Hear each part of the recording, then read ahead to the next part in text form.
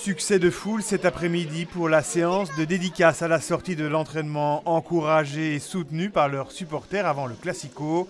Les joueurs du Sporting n'ont pas boudé leur plaisir. Pas de doute, la confiance est de retour dans les rangs mauves, voilà qui tombe plutôt bien avant d'affronter le standard et. C'est agréable, ça devient chose rare maintenant les, entraînements ouverts, donc euh, c'est l'occasion voilà, de, sentir euh, la bonne ambiance, de sentir le public derrière nous. C'est vrai que c'est une semaine euh, très importante avec le standard et puis Zult encore derrière, donc voilà, on a, besoin, on a besoin de leur soutien, ils étaient là aujourd'hui nombreux. On sait que cette saison, tous les matchs sont très difficiles.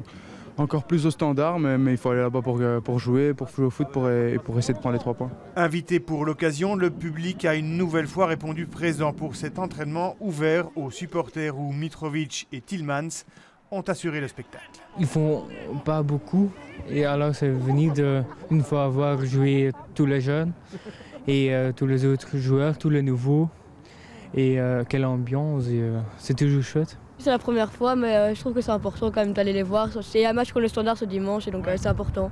Un pronostic pour ce week-end? On va gagner. Hein. Ouais. En famille avec les petits enfants, oui. Comme c'était porte ouverte, c'est assez rare. Alors j'ai dit, mais on va voir Anderlecht. Ils veulent voir Mitrovic et Silvio Proto et tout.